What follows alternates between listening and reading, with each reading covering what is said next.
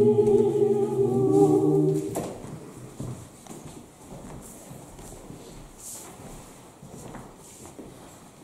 имя Отца и Сына и Святого Духа. Матфея, 24 глава, 27 стих. Ибо как молния исходит от востока и видна бывает даже до запада, так будет пришествие Сына Человеческого. Слово «молния» встречается с неканоническими книгами 30 раз. Мы рассмотрим только 6 мест Библии, где говорится о молнии. Мы знаем, что дьявол во всем старается соблазнить человека. И невеликое дело, ангел принимает вид ангела света, дьявол падший, с неба ангел. Поэтому пишет, писали не ангел, а ангел с маленькой буквы. И мы вот сейчас разберем, что такое молния, которую мы видим. Это самое грозное предупреждение. Я некоторые данные да, сам не измерял, взял от науки. И когда был меньше, то делал то, где можно было получить удар. Это шелковая нить, и высоко в небе запускал змея, а на конце железная лента там, а он на мочило и сразу бьет здесь. На это требуется одна миллионная доля секунды. Ничего этого не знал, в самые облака запускал змея. Исход 19.16. Мы сначала прочитаем.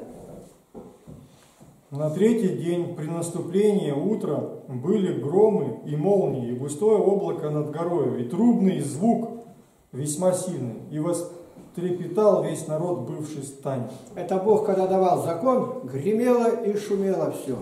Ну, во время грозы что делаете? Как правило, выдерни сначала из розетки все, какие у тебя приборы есть. Если ты в машине, старайся, говорит, закрыть окна все, а так как она на резине стоит, то вылазить не надо, закрой, сиди и молись. Если велосипед, на 30 метров поражаемая зона. Это, ну, на мотоцикле разницы никакой нет. И не стой весь рост. И ложиться нельзя. Это уже опробовано, когда убивали. Присядь. Где-то место было углубленное, как канава. Это для себя, это, это сгодится, может быть. Потому что был такой Артемий Веркольский, отрок, не знаю сколько ему, шесть с половиной лет, например. А отец работал в лесу. И он, когда шел туда, ударил молнию, его убило. Люди сразу рассудили, этот ребенок проклятый Богом. Хоронить на кладбище нельзя. Его отдельно где-то похоронили.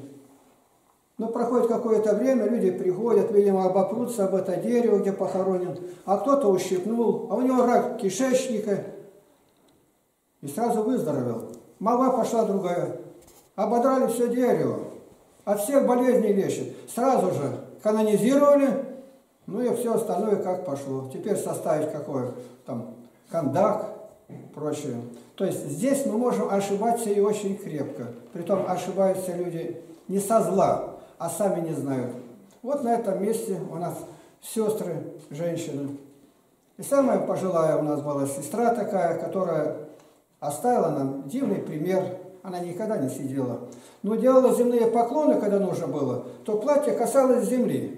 А у нас была в лагере девочка. Она сразу становилась, на это платье, так поднимает, подняться не может, пошаталась, да и упала. Когда мы вернулись в лагерь, я стала спрашивать, и зачем она сделала? А он велел сделать. А кто он? Она не может рассказать. А рисовать уже училась. И дали бумагу, она нарисовала точно. Я говорю, а лицо-то где? А лица у него нету. Это абсолютно точно. Вот это Фатимское чудо в Португалии, когда явилась Яков Божья Матерь, лица нет.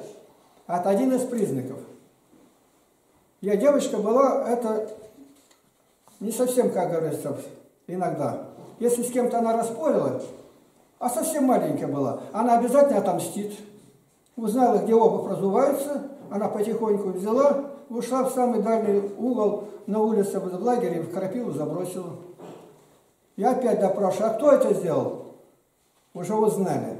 А он велел сделать. Родители, ну, мы не скрывали ничего, бабушка его здесь, и стали молиться, а родители запаниковали. Не надо паниковать, надо молиться. Через это, через ребенка Бог что-то указать нам хочет. Притом, то, что я говорю, не один раз. У нас был случай однажды, неприятность, человек сбежал отсюда. Но один из отроков накануне видел его, я указал, в каком месте, где видел, и все сходится. Если мы не видели, это не означает, что его нету. Когда Макарий сидел, видит, дьявол идет со всей амуницией. А куда идешь? В храм. Да у нас же литургия, митрополит приезжает. А ни одной литургии без меня нету. И тоже доказал это. Когда люди, что-то надо выйти, а он цветы бросает. Благовидная причина, чтобы выйти. Ну, ему разницы никакой нету. Дальше, кому задел глаза только, все, они уснули. И открыл ему Господь 19 числа мая, января месяца Макарий Александрийский, один. Люди поздравляют с причастием, с причастием. А он видит, как по храму бегают черные эфиопы. Эфиопами называются бесы. Ну как, черномазые. И что они делают? Людям в рот вталкивают уголь. Так а священник подает.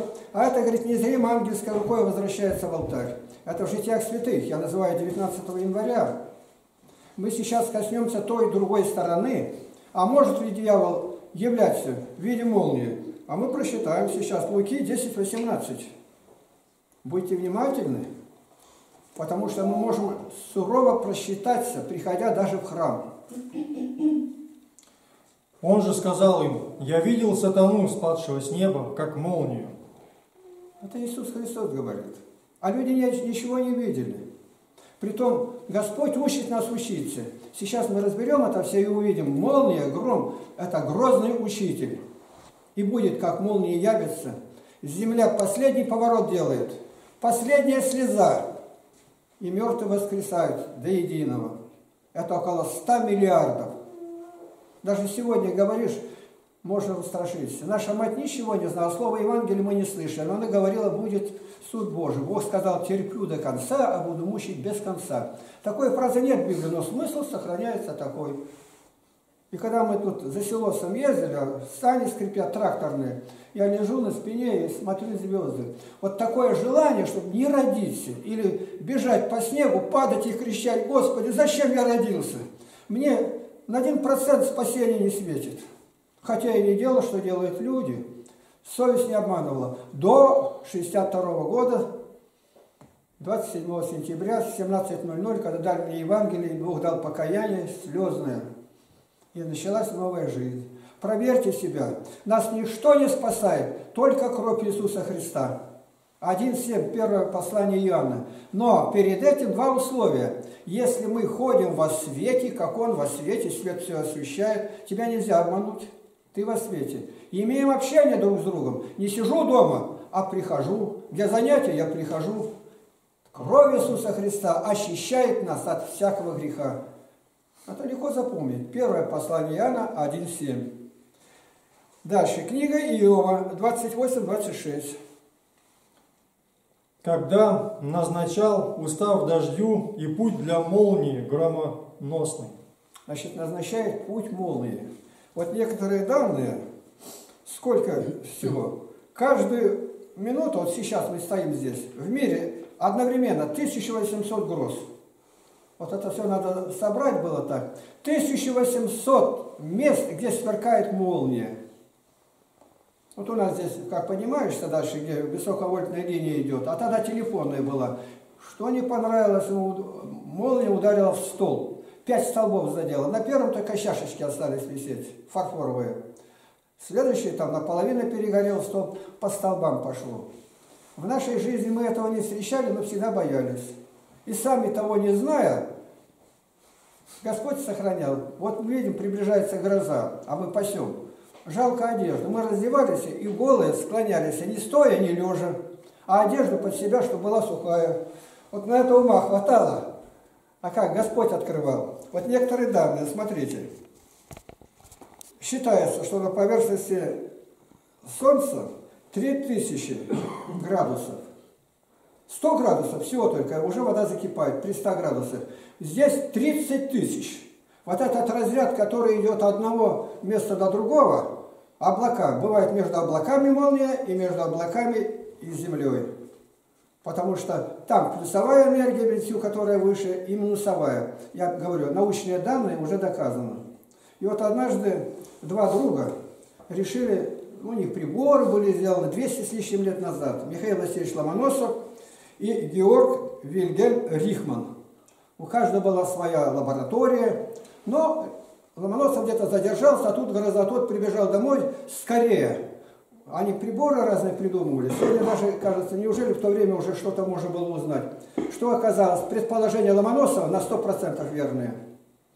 И в это время ударила молния, и этому Рихову она ударила в голову, мгновенно через тело разорвала башмак и ушла в пол. Долгое время так и думали, что от этого змея, которого он запустил. Но тщательное исследование показало, что было дело не так. У него оказалась открытая дверь, и в комнату влетела шаровая молния. А шаровая молния по сегодняшний день объяснения не находит. Мы знаем, что это. Тот КНЛО и другое. И она ударила его. Ударила прямо в лоб. Иногда шаровая, только люди собрались гулять, влетела шаровая молния, ударила в буфет, и все тарелки, все в один комок спекла их. Это все описано. Прямо указывают, где это было. Что означает? У нас есть великое противодействие ему, крестное знамение. Поэтому делай правильно поклон с верою. Я искал в интернете много. Было ли такое, что вот у нас в Потеряевке есть 11 крестов стоит везде? Ну, куда не пойдете, везде высокие на шесте. Ни разу молния не ударила. Я думал, ну, в интернете да нигде не нашел. Может быть и было, на храме, как высоко. И в Барнауле молния никогда не ударила. Почему? Не дано знать. Но вот это, что шаровая, вот надо хорошо подумать. Если она будет, что делать? Она на короткое время является ничего не делать, сотворить молитву. А вы как думаете? Я думаю, нечистая сила. Вспомните Дятловский переход. Девять студентов решили доказать, на гору Артон взойти и доказать, ну, это подарок партии к 20 съезду, а они все студенты, мои ровесники были. И они решили ночевать. Было 10.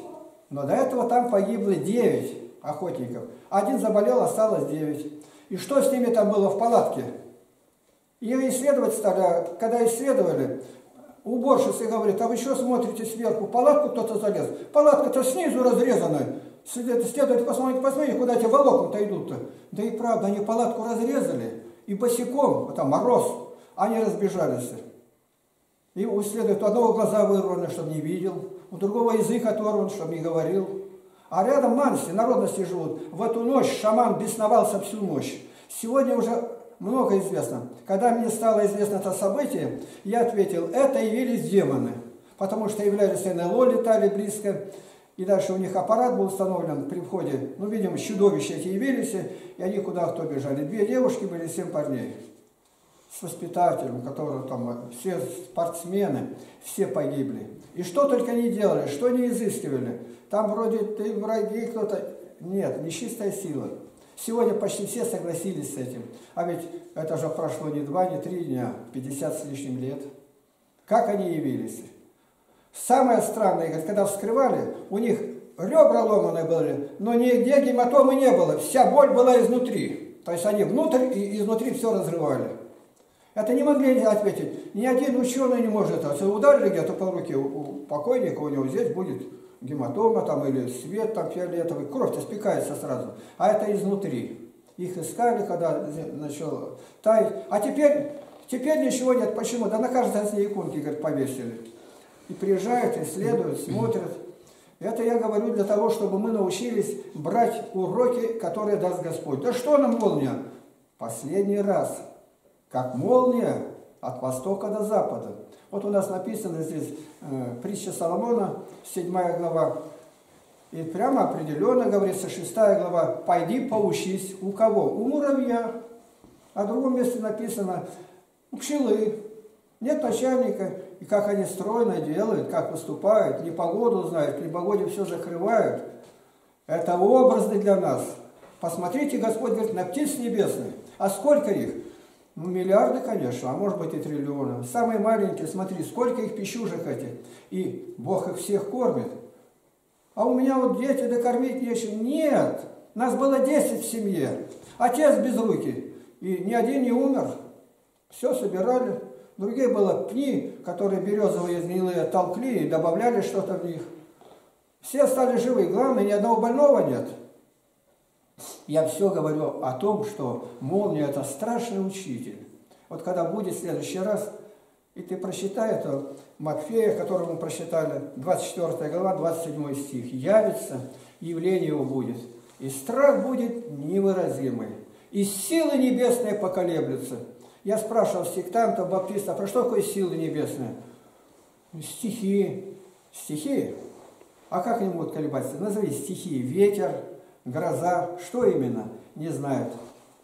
Вот Ефрем Сирин подробно это объясняет. Это ангелы и архангелы трепетать будут.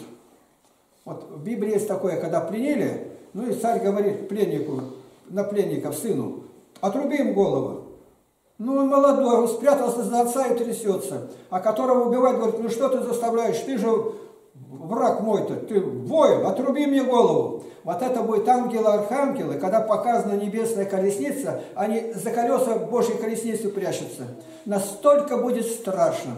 Притом навсегда, все до одного воскреснут, войдут в свои тела. В интернете есть этот ролик, называется «Второе пришествие Христа». Даже сегодня смотреть. Ты знаешь, что это фильм, там какие-то менониты это, сумели сделать так, как он является с неба, как воскресают мертвые встают из гробов, где-то череп подлетает, насаживается, тело появляется, и начинается суд. Советую посмотреть, если не знаете, мне позвоните, я вам скину эти данные. Господь всяческими путями нас приводит к тому, чтобы мы были другими, чтобы мы ходили во свете Божием, чтобы мы доверились Богу, который нас избрал. Далее, Иов 36-32. Он сокрывает в дланях своих молнию и повелевает ей, кого разить. Страшные слова какие. Вот сегодня коснись что-то убьет и что-то. Это за это. Да мало-то. За что знаю? Ничего мы не знаем. Ему открыто было его. А там написано и пути пролагает. С какой скоростью идет. Я все данные эти понаписал здесь, думаю, не каждому это надо. Но вот это, что молния это ударила Рихмана, было в 1753 году, 26 июля. 26 июля, где-то вот ряд, рядом уже здесь через 4 дня это уже определенная дата будет. А можно было из этого это избежать? Михаил Васильевич сказал, можно было. То есть он не знал до конца, что это даст. А тем более, если шаровая молния, от нее вообще не избавления никакого. Почему? Это нечистая сила. Избавление одно. Господи, животворящим Твоим крестом знаменуюсь. Изыди, сокройся. Ну, простые слова скажи. Повторяйте чаще имя Иисуса о своем обращении, когда говорит Генри, бывший отец Геннадий Фаст, когда у него это было искушение большое, я, говорит, только стал повторять Иисус, Иисус, и все это исчезло. Имя Иисуса не переносится имя. Он победитель. Я вчера как раз говорил на тему об именах. Какие имена? Вот у нас у русских много имен Ивана. Почему? Объяснение давал. Запомним, главное имя Вселенной Иисус, и оно будет каким-то другим, там написано, и никто его не знает. И каждому будет дано имя, которого никто не знает. Мы можем сказать, ты дал нам новое имя, нас зовут христиане. Итак, Иеремия 51:16. По глазу его шумят воды на небесах, и он возводит облака от краев земли, творит молнии среди дождя и изводит ветер из хранилищ своих. Понимаете, из хранилищ каких-то. Откровение об этом говорит. Не зря эти понимали, которые за луном ездили, греческая мифология это. Там мешки развязываются, оттуда вырываются. Вихрь-то не объясненный. Вот на одном месте крутится и тянет. Откуда это? Говорят, разность температуры. Вот поставь свечку, открой зимой, и свечка наклонится. Ну какая разница? В доме у тебя, допустим, 25 градусов. На улице пусть 45. Ну какая? И какой ветер-то? Ну и торнадо летом идет, опрокидывает здания, поднимает машины, топит корабли. Что там? И при том предсказания высчитывают сегодня там-то, там-то, вот в Штатах, там часто это бывает. Что это за ветер? Вообще, с чего он идет? Вот это вот нам это объясняет. Я особо хочу сказать, что нужно нам научиться не только из Библии, но о чем она говорит, постоянно учиться. Да вот дождь не дает работать, Господи, через дождь Ты научаешь нас плакать. Ты говоришь, что засыхает всякое растение. Чудо Божие на наших глазах, притом на каждом месте. Так душа моя да насыщается Словом Божиим. И все, что мы слышим, да приведет к покаянию, к славословию, прославлению Господа нашего Иисуса Христа, которому да будет слава всегда, во веки веков от нас. Аминь. Аминь.